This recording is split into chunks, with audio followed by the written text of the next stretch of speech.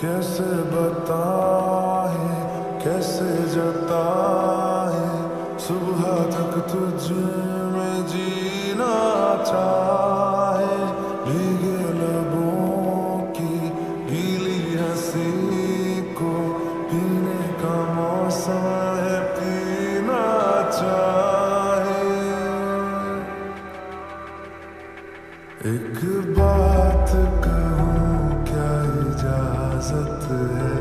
तेरे